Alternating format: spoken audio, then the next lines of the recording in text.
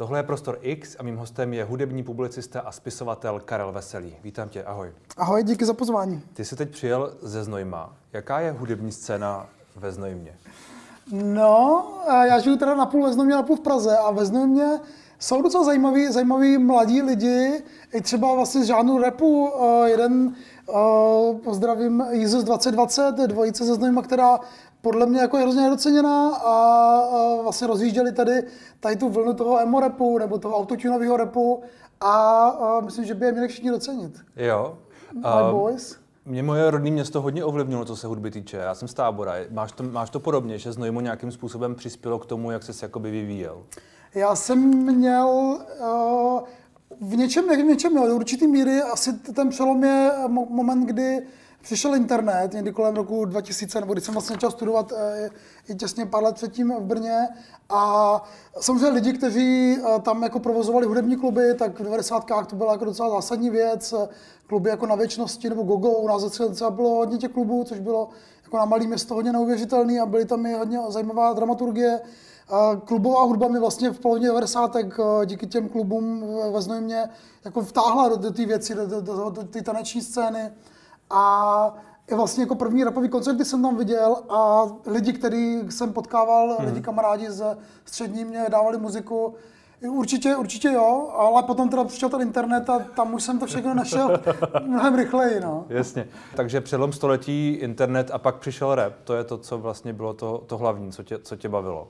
No já jsem rap začal poslouchat už eh, na počátku 90. let. Já jsem měl štěstí, že jsem chytl rakouskou stanici FM4, což byla veřejnoprávní stanice, kde se hodně hrálo jakoby progresivní jo, to věci. Si, to si pamatuju, to jsme taky chytali nejúčinně. To bylo skvělé úplně, takže tam jsem poprvé slyšel různé jako alternativní rapové věci, i teda ty Wutan Kleny a tyhle. A no jako, jako vtáhlo mě to do sebe strašně hmm. moc ten rap. Vlastně a teprve jsem se učil anglicky, takže mi to i pomáhalo to, se učit anglicky. Hmm. A ta energie z toho šla strašná a bylo to hlavně něco nového. Já jsem jako vždycky mě na hudbě zajímá jako nějaké inovace, něco, co vlastně předtím nebylo. A nějaká hudba, kterou bych, o které bych mohl říct, že je moje, že jsem si ji jako našel já a že ji nezná prostě všichni kolem mě. Takže ty kytarové věci jsem taky samozřejmě měl rád, poslouchal jsem jako grunge a, a, a bylo, bylo, bylo důležité tohleto najít něco svého, co neposlouchají lidi kolem tebe, být tako, jako, a já nevím, jak to říct, jako nějakou alternativou, trošku na sílu možná.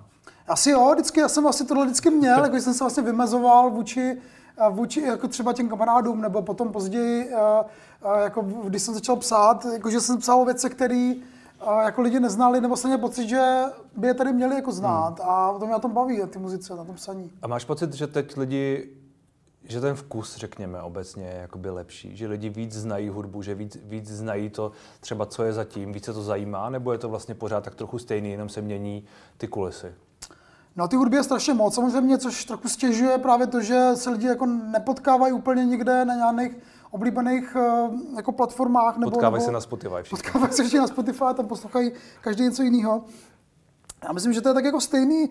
Uh, já vlastně jako znám i tu dobu, kdy ty hudby byly má, bylo málo, kdy člověk si mohl koupit jedno CD za měsíc, nebo někde si nahrál kazetu od kamaráda a ta hudba měla jako vlastně něčem takovou zvláštní magii, jo, jak, mm. jak byla nedostupná tak měla tu magii a tu desku, když si ti třeba jako nelíbila poprvé, tak si potom poslouchal jako několikrát, protože aby se ti začala líbit, protože se ti nelíbilo. Jasně. A samozřejmě něčem to bylo strašný, protože ty muziky bylo málo a i těch kanálů bylo málo a dali se ti lidi jako lehce ovlivňovat tím, že jim prostě někdo hodil něco v televizi a oni to museli poslouchat. A v něčem to bylo samozřejmě jako jako lepší nebo, nebo jako intimnější ten vztah s tou věcí byl. No. no on teď je ten druhý extrém, že jo? Teď je toho naopak moc. Já každý, každý pátek prostě no, nový, no, no, nová hudba, hodiny a hodiny a člověk jako to tak jako to všechno poslechne a když nemá ten čas na to, to fakt jako vnímat a pak třeba několik hodin tomu dát, tak to prostě takhle jako prošumí a možná, že neobjeví ty věci, které by dřív objevil, protože prostě na to nemá čas. Je to tak, je to tak, já to taky jako vidím sám na sobě, že uh, ten vztah eh, intimní s tou konkrétní deskou a jako se mi stane jako málo kdy, jo, ale tak to možná i souvisí s tím, že stárnu už, anebo tak. Ty ale... nostalgie tam už jsou jako vyrobený dávno. jo, jo, jo, no. jo, ale snažím se s tím bojovat eh, a furt jsou, teďka zrovna jako doba, kdy se vytváří žebříčky hudební, hmm. výroční, že jo, tak si jako rekapituluji, co jsem poslouchal za ten loňský rok a bylo tam pár desek, který jsem, jako, který jsem se znova zamiloval, jako by prostě mi bylo jako 15 nebo 16 a začalo to někde po první. Vlastně jsem rád, že tohle furt mám. Uh, já začnu u Rap Story, což je dokumentární série, která teď je k vidění na, na webu České televize. Je to o historii repu, čili to je tak trochu taky tvoje hudební historie, historie tvýho vnímání té hudby, jak jsi s ní jakoby vyrůstal a, a tak podobně. Je to tak? Jo, jo, jo, určitě mě to vlastně v něčem vrátilo. Když tam třeba v tom prvním díle Michael V, tak jsem si vzpomněl, jak jsem viděl v roce 90 na české televizi, jaký pak vokolky Michael a EAR. A úplně mi to vlastně jako, uh, to, tyjo, tady existuje nějaký český rapper, který prostě je drzej a má kšiltovku dozadu a řetězy a jede prostě tady ten rap a je to vlastně dobrý. A uh, jo, jo, jo. Jako já, jsem, vlastně já, jsem teď, já jsem potkal včera na koloběžce Michaela V tady v Holešovicích. Jel na koloběžce na chodníku a prostě vyspěvoval se na hlas. Bylo to, bylo to úplně, to je král, úplně jako, je, je, to, je to zjevně dobrý člověk, zjevně to docela prožívá furt. Um, kde jsou ty úplný začátky? Teda to je to JAR a Michael V, to jsou začátky repu v Česku? Uh, ještě v osmdesátkách, v polovině osmdesátek, tady Lesík Hajdovský manželé dělal, dělal rap, takový jako pokus hrozně vtipná historka, že, že, že se přestěhoval na, na jižní město, kde najednou chytil nějakou stanici eh, německou, německou a tam přišel Grandmaster Flash New York, New York a vlastně si úplně ho to jako vzalo a zjistil, že by bylo super tak překlopit vlastně na ten nižák. Takže ty věci, co dělali tady s manželama, což byla taková jako kapela z alternativní scény, spíš rokový, a si najednou zkusili dělat rap, bouchali do, do kufru, prostě místo beatu a bylo to hrozně zajímavé. A v něčem jako nedoceněný, v něčem to vlastně ani není jako, jako v té linii toho, toho 90 rapu, protože je to vlastně jako hodně jako mimo časově. A pak tady byli uh, Miloš Birka a, a Petr Náť měli v 80 jako repový hity, nebo repový, jako měl, měl to ten beat, uh, zkoušeli repovat, uh, přímo existuje jedna písnička, na který Birka repuje, což je úplně skvělý. No a pak, pak třeba v roce 86 Karel Nesási čaj, což vlastně jako tehdy jsem nevnímal vůbec jako repovou věc, Jiří Korn a Willem Čok, Jasně. ale jo, jako je to vlastně rap, jako repuje hmm. se tam. Takže oni jako vzali to, co bylo na západě jako novýho, svěžího a zkusili to sem přenést, samozřejmě s nějakýma jakoby chybama a tak, hmm. ale ale jako bylo to, bylo to něco, co tady jako otevíralo dveře, no a potom teda 90. už eh, jako vzniká ta jako subkulturní scéna, jo. Vlastně jako by ten, ten rap u nás je spojený s graffiti a tady s tou partou, která vlastně to žila, jo, ten rap. Jako, jako vlastně Michael V to taky žil, ale asi nestříkal graffiti později, zatímco jako Orion to trochu jinak. Sifon už to jako dělali a hmm. je to v tom, jako trošku se to odráží. A to je ten jako real český rap, o kterým se jako mluví, hmm. že to je ten začátek. A ta subkultura tehdy uh, byla vlivná, nebo jak vlastně, jak vlastně v těch devadesátkách působila? Protože někdo ji asi vnímal, já si pamatuju na nějaký první nahrávky, který jsem asi i já měl možnost jako slyšet, ale určitě jsem ne, ji nevnímal úplně v kontextu. Ne, ne, bylo to strašně maličky, bylo to fakt pár lidí, kteří jako se potkávali někde, někde u muzea pak šli prostě jako dělat grafity a pak ještě třeba ještě natáčeli něco. A taky ten vývoj je strašně pomalý. Vlastně, když se člověk vezme, tak vlastně celý ty devadesátky jsou jako čekání na to, kdy konečně bude tady ta jedna první deska českého repu, která bude jako ta z té scény. A vlastně VVVčka to nedali, Kolča to nedala, eh, spousta šespolnic, jako tady ty kapely z té první scény, vlastně buď se rozpadly, nebo, nebo, nebo to prostě nezvládli a teprve potom ten PZA s tím hmm. repertoárem. Samozřejmě jsou to i chaos, že jo, to taky je potřeba zmínit. a kapela, která vlastně jako eh, lidi, kteří trošku jako patřili do té scény, byli jako na okraji, byli mladší hlavně, byli o něco mladší. Katovi, Defovi, dneska z Pragounion, že jo, vel, velká hvězda, zásadní člověk ty scény, tak bylo 16, když je oslovili z toho Polidoru, ať, jim, ať udělají desku a oni do toho šli a vlastně jim jako extra nevadilo, že, že se fotí pro Bravo, nebo že jdou do, do, do televize Nová, což by teda jako vlastně hmm. Orionovi vadilo, nebo Sifonovi. Ale tak oni to prostě dali a byli najednou velk, velký hvězdy, že Ty desky se prodalo, nebo těch desek dvě byly, kterých se prodalo přes jako 50 tisíc, což dneska je Ale ta, ta hudba byla asi trošku jiná, že jo? Byla trošku jiná než ten chaos, myslím. Byla hmm. trošku jiná než ten, uh, než ten Orion a než VVV, tehdy Sifon a spol, než, než ten Underground. Byla trošku veselější, ty texty byly pamatujeme si sviště na golfovém hřišti a tyhle ty jako a trošku nesmysly zpětně možná, ale jako zábavný. Něčem to bylo naivnější určitě, by to byli kluci, jo. kteří byli mladší. Vlastně zvukově, když se člověk jako to poslouchá, to zpětně, to bylo dobrý. Tak to vlastně bylo docela v pohodě. Vtip, vtipný je třeba, když člověk si čte ty vzpomínání uh, lidí kolem chaos, že oni vlastně šli do studia a nikdo nevěděl, jak se dělá rap, jo? že zavolali Čechtickýmu, který, který Som Square, který vlastně jako měl nějaký povědomí, protože dělal elektronickou hudbu, která byla vlastně jako blízko tomu repu Oni měli nějaký CD, které měli samply a ty to z toho začali slepovat, že jo. A a tak se to jako všechno postupně jako vytvářelo, bylo to, bylo to vtipný. Jsme v době, kdy uh, bez velkých labelů jako málo mohla vzniknout deska nebo natočit se cokoliv, protože to studio bylo, jako stálo peníze, nebylo nedostupné, že Dneska už je to Dneska už si koupíš jako za 50 tisíc hmm. vlastně doma, domácí studio a můžeš točit desku. Hmm. Tehdy to bylo jako nemožný, že jo? Takže ty, ty, ty chaos vlastně si stáhla ta velká nahrávací firma, se kterou ta původní parta jako nechtěla mít nic společného. To byli pankáči, kteří jako věděli, že když prostě půjdou do toho, tak se zaprodají a to oni nechtěli. Takže... Na druhou stranu PSH po, po roce 2000 vlastně repertoár a pak ty další desky, to byly docela hvězdy. Že jo? To, byly, to byl v podstatě úplně mainstream. Vyrovnalo se někdy něco tehdy té tehdejší slávě těch, těch PSH, která do jisté míry asi pokračuje do dneška, byť asi trošku, trošku jinak.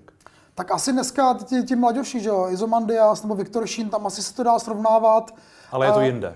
Je to, je to něco jako asi jiného trošku, no, no, no. Jako, že Spíš myslím, že to jde jinými kanály, že to není tak, že by to byly ty časopisy a není to televize a není to rádio, jako to asi tehdy do jisté míry bylo, a, ale je to prostě všechno na Spotify a... a na YouTube, že jo, no. YouTube, no jako PSH taky myslím nebyli vyloženě jako televizní kapela, že by, ne, že by se nebo v rádích, že by je hráli ale jako ty časopisy vlastně ve by hodně tlačili a měli jako ten fame byl ale zároveň vlastně hodně organický, jo? že oni vlastně nikdy nepotřebovali mít reklamu někde, nebo nemuseli mít klip, který by se hrál jako někde, přes jako tlačenku někde, jo? Že, že, a to, to bylo přesně to, co vlastně jako chtěli, jo? Jakože prostě organicky postavit tu scénu a pak organicky se dostat k těm lidem a nemít pocit, že jsi někde něco jako podělal nebo se někde zaprodal. Hmm.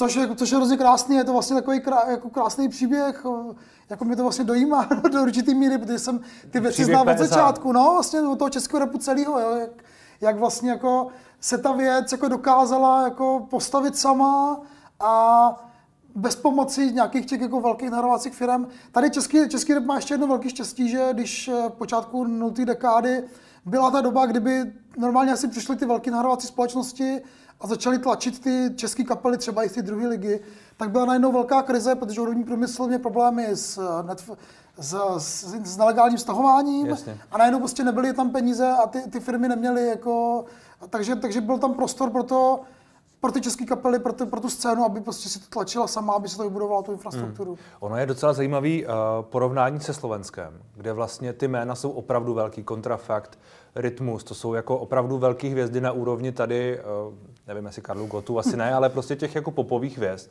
To se tady nikdy tak úplně nestalo. Či, čím je rozdílná ta slovenská scéna? Byť mm-hmm. jsou, je to vlastně pár kilometrů. To je jako vlastně trošku jako záhada. to je trošku záhada nebo záhada. Uh, ten, ten slovenský, jako možná slovenština se víc hodí k repu. Je to jako jedna teorie, že je taková jako víc ohebná, zatím to čeština taková tvrdá, blbě se to tam jako nasazuje na ty, na ty beaty. A druhá věc je, že na Slovensku ten rap jako u nás teda taky má kořeny vyžáku na, na, na sídlišti, jo, ale jako Jižák a Petržalka je ještě rozdíl, jo? Takže, takže ten, jako, ten příběh z Petržalky má vlastně ještě větší autenticitu. Jo? Je to mm-hmm. ještě jako víc, jako větší příběh o cestě jako ze spodu nahoru. Jo? Že na tom Slovensku je možná jako víc vidět ta, uh, ještě ty sociální jako rozdíly, jo? že jsou, jako, jsou jako větší než u nás. Takže ten rytmusův příběh vlastně dává jako a ještě jako větší smysl v rámci těch hiphopových mýtů o tom hmm. typkovi, který se jako udělal ze dne nahoru. Jo. Tam, to, tam to je popravdě ta, ta americká analogie Jasně, těch, toho to New Yorkského geta. Tam to přesně funguje, no. no. Hmm. Ale a taky je to prostě jako rytmus a kontrafakt prostě byli dobří, no. To se hmm. dá nic jako říct, prostě, tak, ale jo. Asi to, to, jestli někdo prorazí úplně národně, není o tom, jestli je dobrý, ne? Ne, ne, ne, jasně, že ne, ale zároveň rytmus se vlastně jako nikdy nebál, vždycky jako chtěl být ta hvězda chtěl být v televizi, chtěl prostě rozhazovat ty peníze v supermarketu, což u nás třeba jako ti repeři vlastně se trošku jako toho jako stranili, neměli úplně mm. ten pocit, že chtějí hrát tuhle roli tady toho, tady ty superstar, která je všude, která prostě chodí do televize, do, mm. sedět v nějaké jako porotě superstar. A teď to tak taky není. Teď, když máš uh, Izomandiase a Milion Plus a Viktora Šína, ne, nevím do jaký míry, ale přece tyhle, ty, který mám pocit, že už jako to jméno si jedou a, a trošku tu fame nebo tu slávu, pro, proto ne, neříkám, že chtějí mít uh, peníze a zlatý, zlatý Bentley jako, jako, jako rytmus, ale, ale něco takového. No, to je hrozně vtipný, že dneska ti repeři vlastně ti, kteří mají ty největší sledovanosti, nepotřebují to, ty, ty, ty klasické média, že jo, jako nepotřebují televizi. Ani nechtějí. Na ně nechtějí vlastně, protože vlastně ta autenticita je to, že si, si je objevíš na tom YouTube, ne, že, je, ne, že tě pustí v televizi, jo. Hmm. A taky, taky je to vlastně většinou jako strašně, strašně pěkný, kouzelný. Ta, ta striktnost je tam, to je super, že, že, že ty Milion Plus vlastně nemohl, nemuseli uhnout z toho jako striktního street rapu, který dělali od začátku, dělají ho vlastně furt a nepotřebovali se přizpůsobovat nikomu, ničemu. A dali to prostě, což je nádherný. Hmm. Na druhou stranu já pak, když vidím uh, žebříčky, teď Spotify vydalo takový to, že všichni ukazovali, co teda poslouchají a v nějaký mladší generaci v, Twitter, v Twitterové bublině byly všude Izomandias, všude tam byl Nintendo, všude tam byly tyhle ty repeři, čili jako oni pak jsou ale všude. A není to tak, jako mně nepřijde úplně, že by to bylo nějaký extra autentický v tom smyslu, že by to byla nějaká jako subkultura, protože to je prostě všude.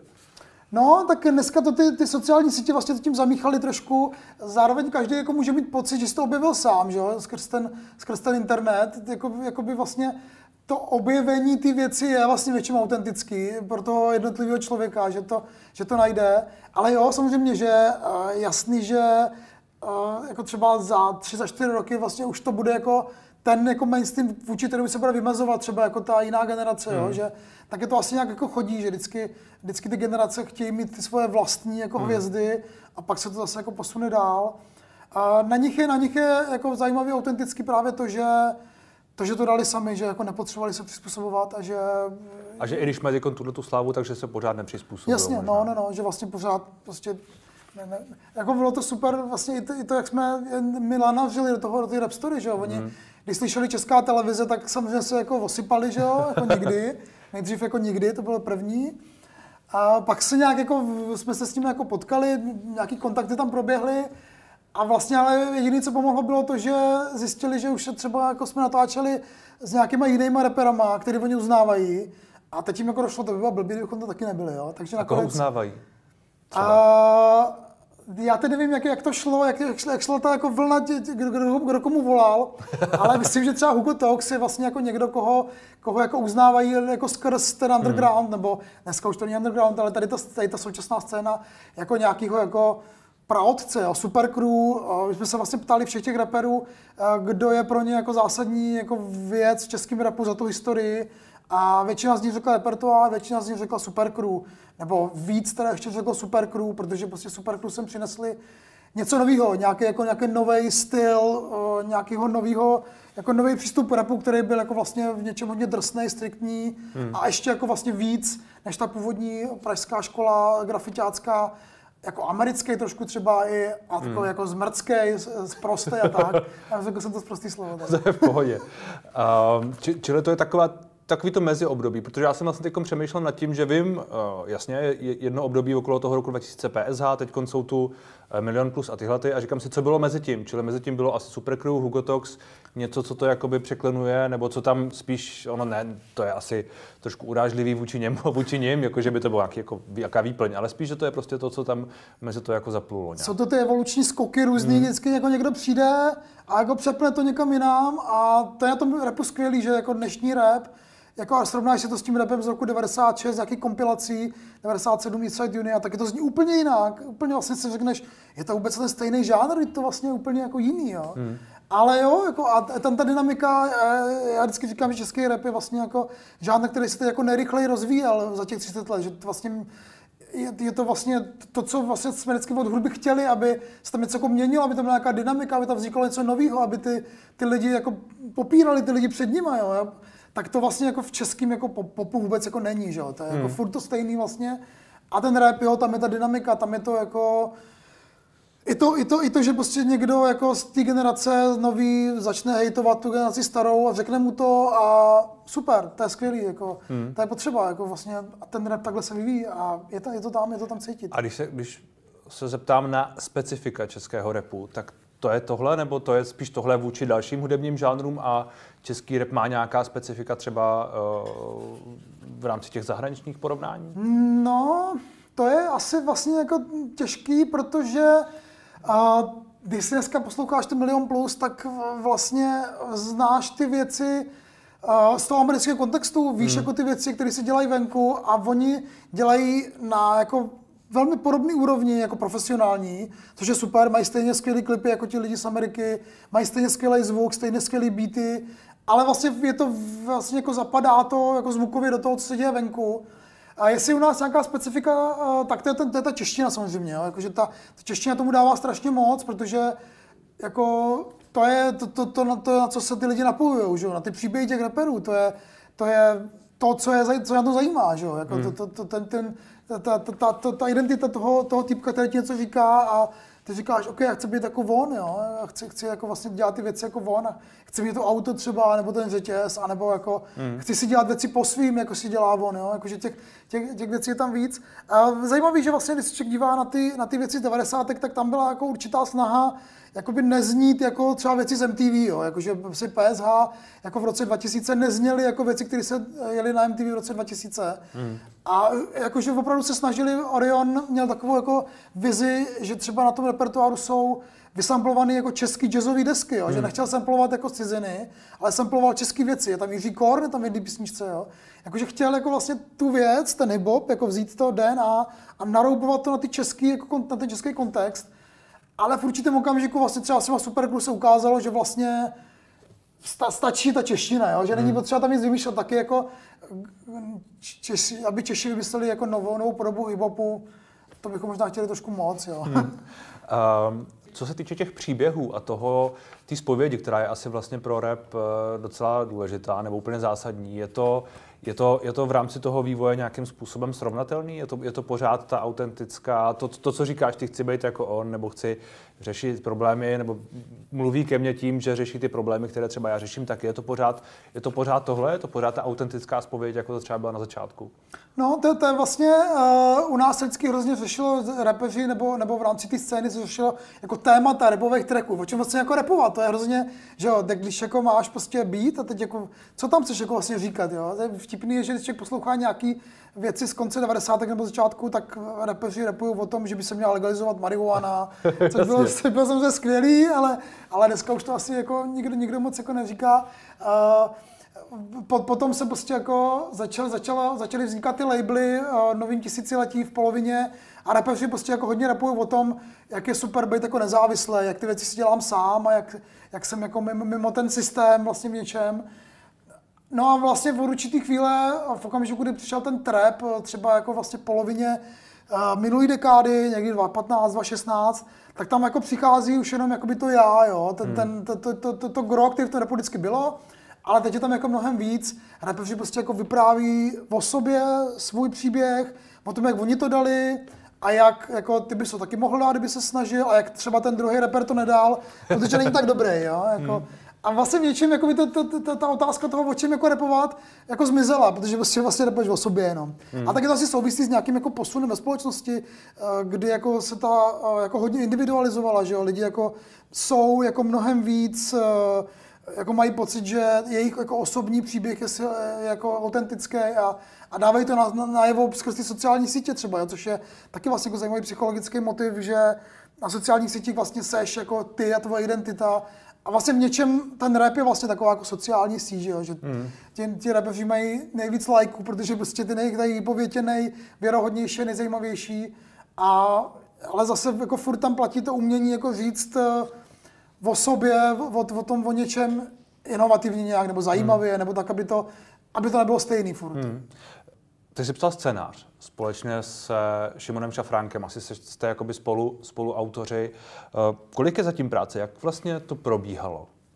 No, scénář je jako zajímavý slovo, který jako vlastně nikdy nebyl, samozřejmě je to dokument, že jo? Takže, hmm. takže nikdy nebylo tak jako nějakou, napsaný, ten nějakou... řekne tohle, ten řekne tohle. Měli jsme nějakou pátev, samozřejmě, hmm. měli jsme nějaký nápad, jak to postavit. Někdo asi, základě... musel, někdo asi musel vymyslet, s kým se bude mluvit, o čem se s ním bude jasně, mluvit. Jasně, jsme si vlastně jako dali, dali dohromady uh, jako ty, ty, díly, jak by to jako mohlo jít ta linie, ta, ta vyprávěcí.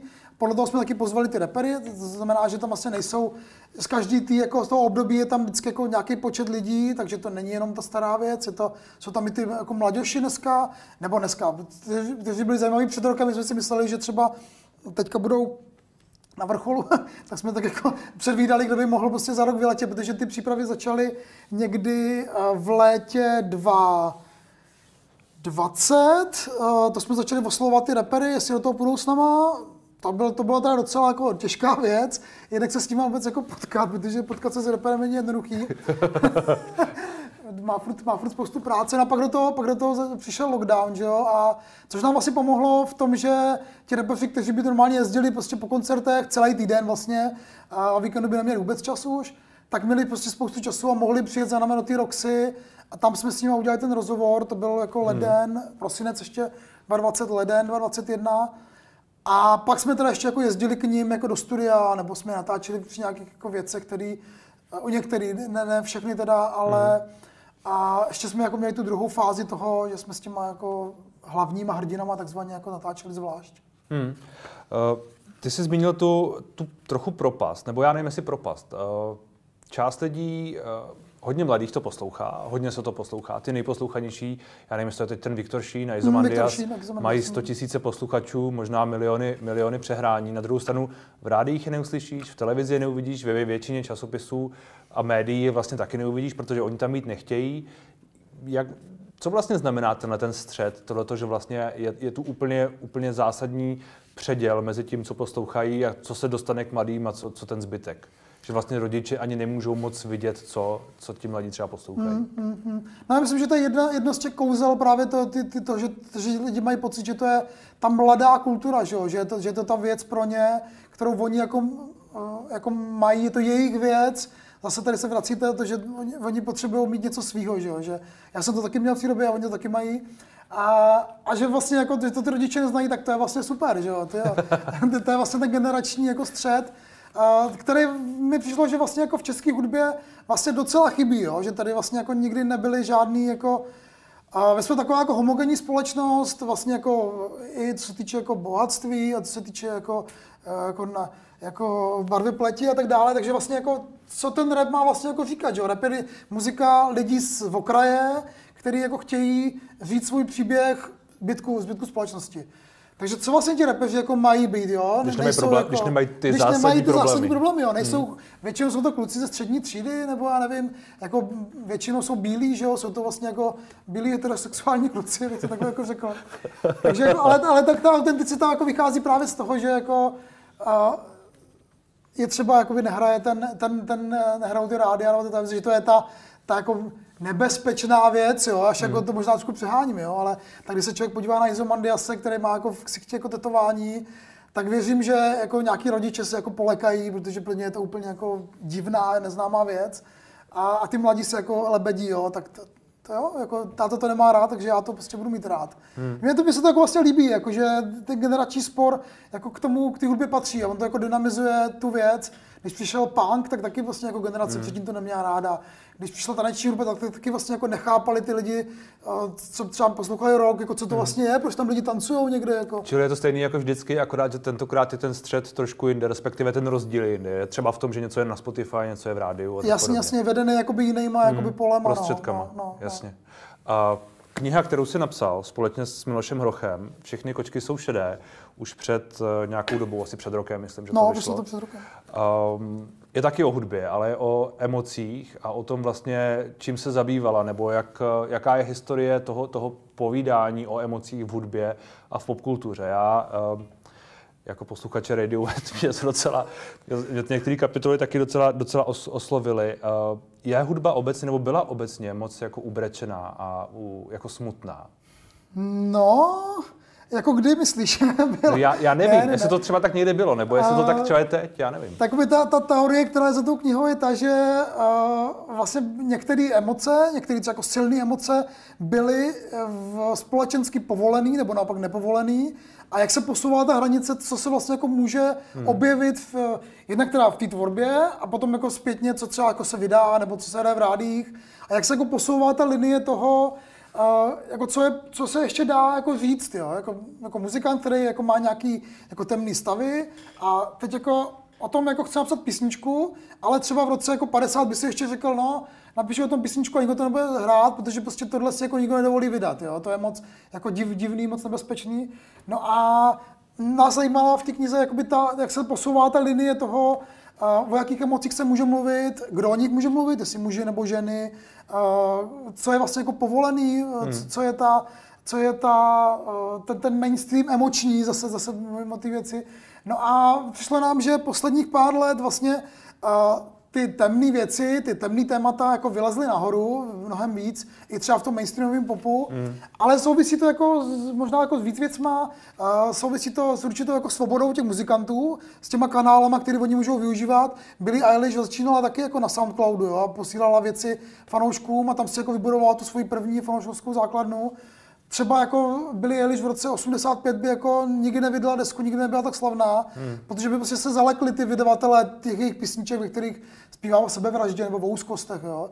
A dneska jo, protože prostě dneska už to lidi můžou přestat YouTube slyšet. Ono je to vlastně trošku jako trošku vtipný, protože když zmiňuješ rok 85, nebo ono se tam, tam o to píše, tam píšete o Joy, o Joy Division, o nějakých těch prvních deskách, třeba Radiohead, nebo o těchto věcech, kteří vlastně zpívali o těch věcech, o kterých teď možná zpívá třeba Billy Eilish, akorát, že už je to vlastně úplný mainstream mm. a je úplně v pořádku zpívat o tom, že Uh, nevím, to, co jsi zmínil. Jo, jo, jo, no tak navíc, navíc žijeme v době, která vlastně jako se na tebe valí všechny různé krize, že jo, hmm. jako jako environmentální. A, re, a re, jako reflektuje, re, reflektuje tohle teď hudba, tyhle ty společenské tlaky, které tu jsou?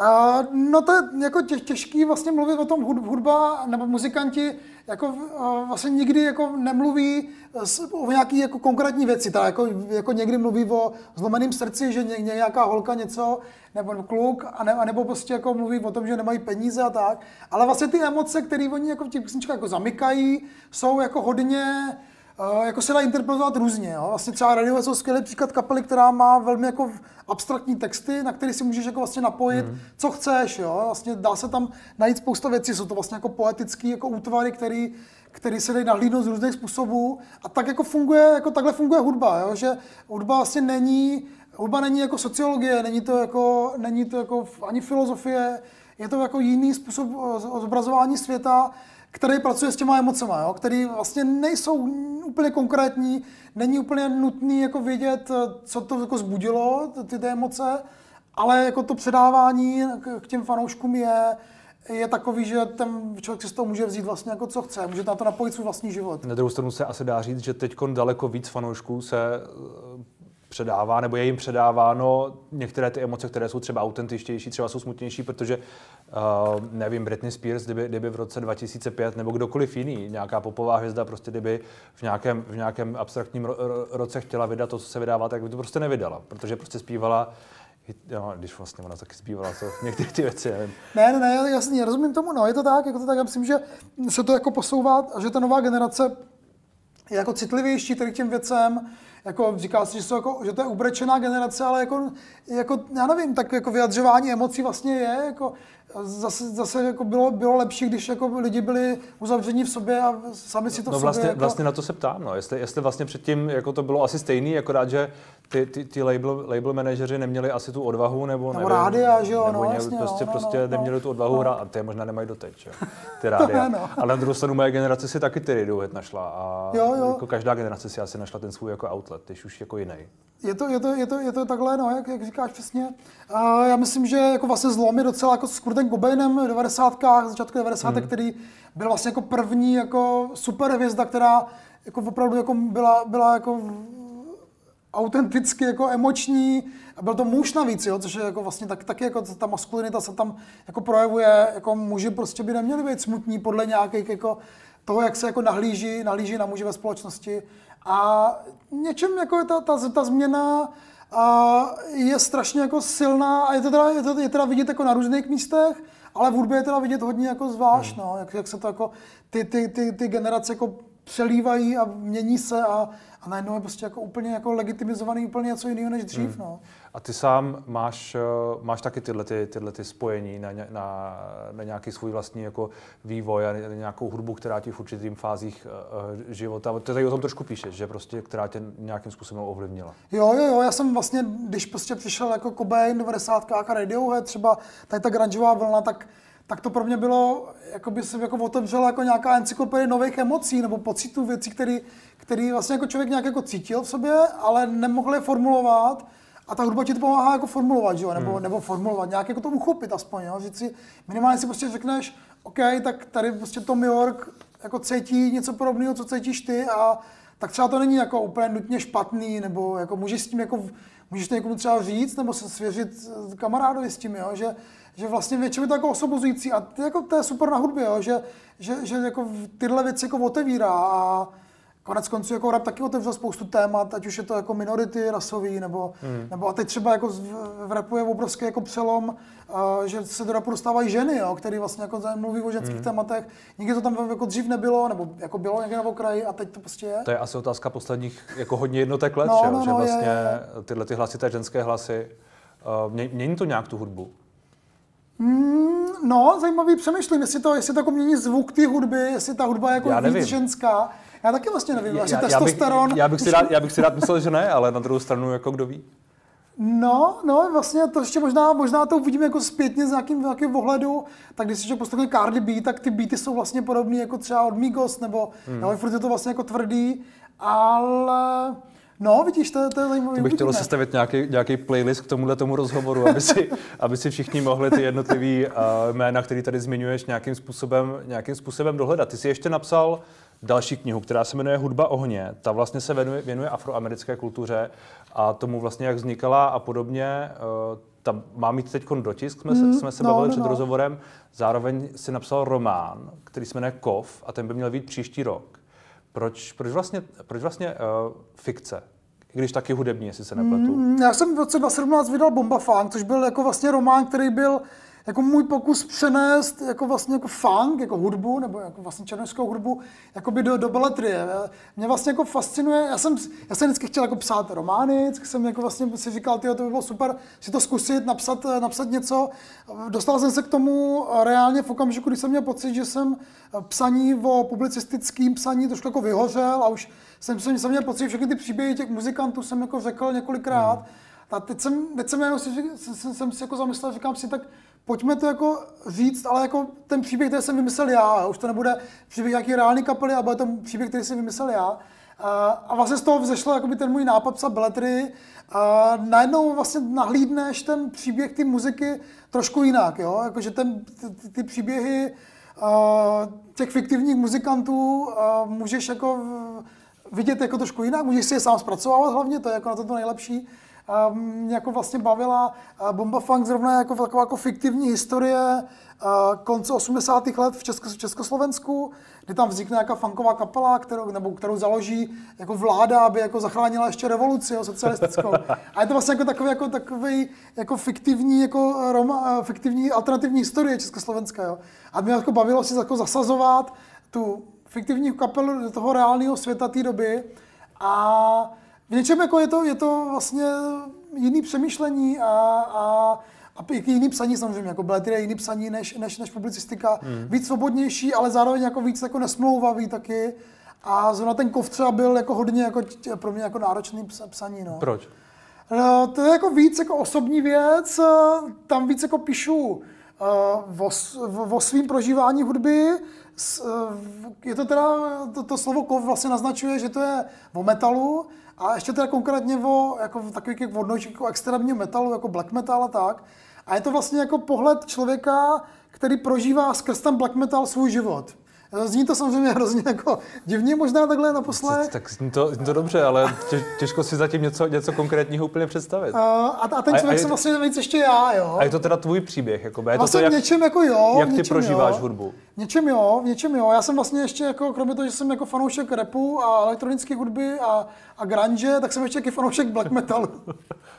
a to byl jako můj pokus, jak si jako vysnít svůj život jako black metalista, jak bych asi mohl jako žít jako black metalista, jo. Hmm. Což teda asi nikdy nebudu, bohužel, ale, ale jako tam mi to přišlo jako a zároveň, zároveň tam jako reflektují ty jako dějiny black metalu a tak, ale jako to je nějaký někde jako v pozadí, jo. Jenom hmm. prostě mi baví přemýšlet uh, o té hudbě v jiným, ještě jako v jiným žánru vlastně, jo. je to jiný žánr. Jako já nemůžu já nemůžu hrát na nic, všechny moje pokusy jak založit kapely, skončily prostě špatně.